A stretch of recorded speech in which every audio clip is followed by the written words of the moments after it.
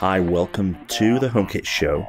This week, we're going to talk about Nuki and its new products that it's announced this week, along with Neato and its robot vacuums that work with Siri shortcuts, LG's U turn on releasing HomeKit support for its 2018 TVs, and Meross, the garage door opener, which has now become available on Amazon. So continue watching this video to find out all about the latest HomeKit news for this week.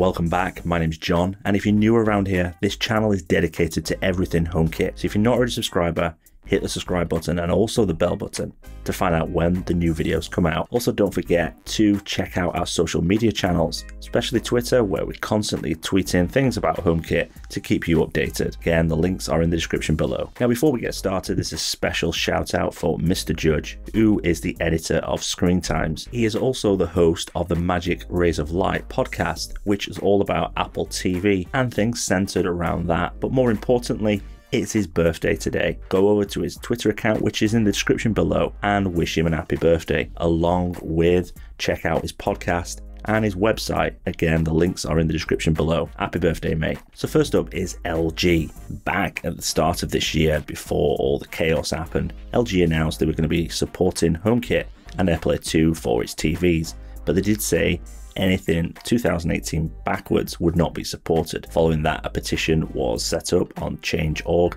and this attracted thousands of signatures. Now around about April time of this year, it looked like that that had had some effect because LG updated their support pages and hinted that 2018 support with HomeKit and AirPlay 2 would be coming. Now recently, they've changed their support pages which have taken any reference away.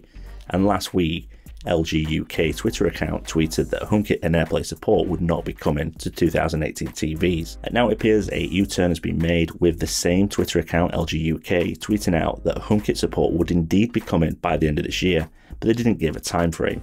So this is good news for LG 2018 users who have spent hard-earned cash buying the TVs and they'll get HomeKit and AirPlay 2 support later this year. Now next up is Neato Robotics as announced several new products to its lineup the D8, the D9, and D10. While these models do not offer HomeKit support, they support Siri shortcuts like with previous models. Now, I've been an owner of the D5 for over two years, and whilst it's an expensive purchase, I've not regretted it. We set the D5 to work on a schedule every day, and it cleans the floors, and I like the fact the company continues to update its existing product line. And last year, they introduced the virtual no-go lines, which effectively allows you to set up no-go areas, and we use this around the dog bowls or under a cabinet where it sometimes gets stuck. As I've already mentioned, they do not support HomeKit, but this is because Apple's Smart Home platform does not support vacuum cleaners there. However, they do work with Siri shortcuts, and this gives you the ability to control the robot with a quick press of a button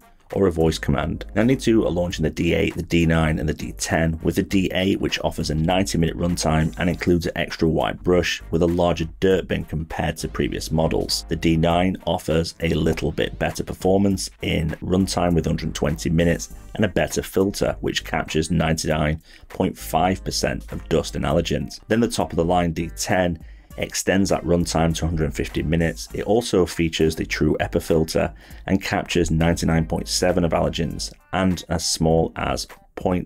3 microns. Uh, now, the models are due to be shipped later in the fall in North America, Europe, and Japan. Pricing has not yet been announced yet. Don't forget to look out for that because these are certainly good robots that work with Siri Shortcut. Now, next up is Nuki and some of its new products, which it previewed this week. Now, last week they were doing some teaser promotions saying that new products were coming and they sent a press invite out to view these the day before and we got an invite. So Nuki has announced a special white edition of its Nuki 2.0 smart lock. In addition, they've also announced the power pack and this will work with the company's existing smart lock. So the white Nuki smart lock does not differ in terms of functionality found in the already available black model although it will ship with the newly announced Nuki Power Pack as part of the package. Now this lock already supports HomeKit and it fits Euro style locks and it fits on the inside as it does with most these types of locks and it doesn't affect your existing door lock So that's a real bonus. Limited White Edition will be available exclusively from its web store starting October, and it'll be while stocks last. Now, I think if this will be popular,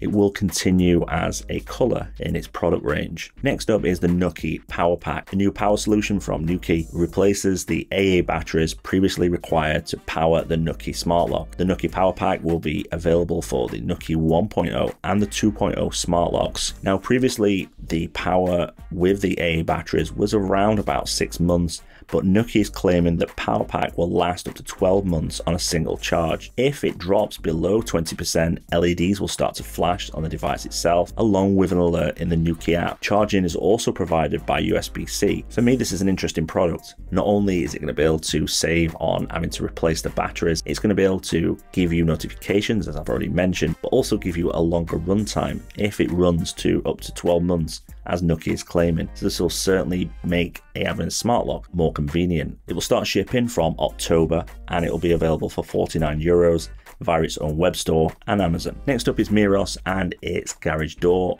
opener, which will support HomeKit. Previously mentioned on this show and the website, we released exclusively the pricing and it's now available as per our timeline of September in the US. Now it's $49.99, but there's a special discount code in the description below, which will give you a discount and it's currently fluctuating between $5 and $10, depending on the day that you try. Now I've recently reviewed a number of Meross's products, the Smart Indoor Plug, which I found a very good stable product product, given its price point of around £16, works with HomeKit and it performs really well and I'm still using it now. Also reviewed the smart outdoor plug. Is in the main pretty good. I wouldn't recommend it for all year outdoor use. However, I've been using it in my garage to power my floodlight and it's working really well within HomeKit and you know, I can't really complain for the price point. It's about £29 when it's on offer, which is a lot cheaper than its competition. So Meross seem to be on a roll with releasing HomeKit support to its products. They're also going to be releasing later this year a power strip into the UK market and European market that will support HomeKit. Also planning to release a number of other products which are still yet to be announced. This is really good to see a company that building quality products at affordable prices similar to Aqara and that will challenge the other brands. Now this device fits your existing garage door opener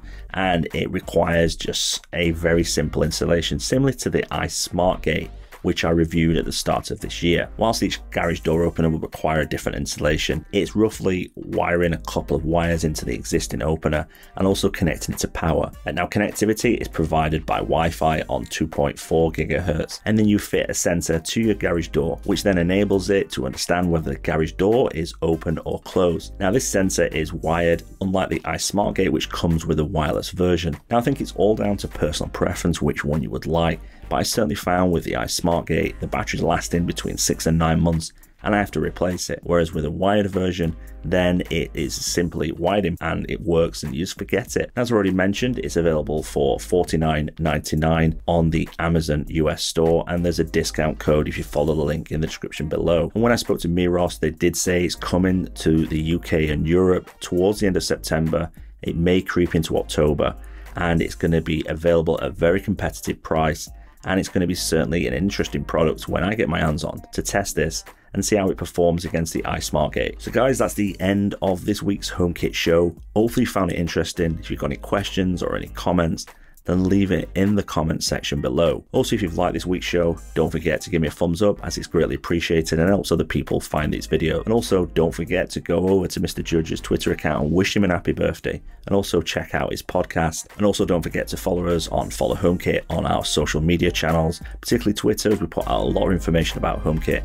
And also check out our website, homekitauthority.com, where we release news, reviews, and tutorials about everything HomeKit. Thank you very much. I'll speak to you soon.